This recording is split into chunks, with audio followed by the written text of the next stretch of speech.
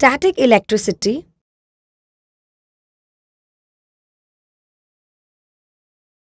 Things we need A balloon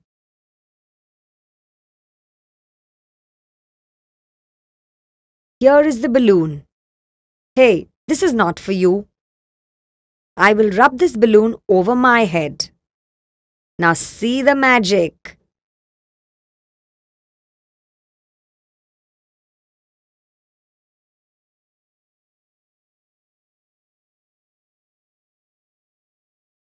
This balloon likes your hair.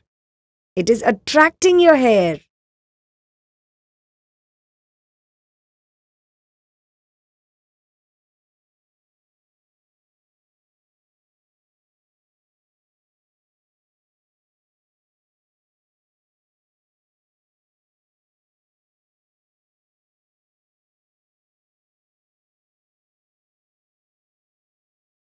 Reason? If you rub a balloon against your hair, the balloon will steal electrons from your hair. This leaves your hair positively charged and the balloon negatively charged. Now this balloon can attract any positively charged object. If the air is very dry, the balloon should stick for many hours, possibly even days. Remember that the moisture in the air can steal charges from the balloon so on humid days, this may not work at all.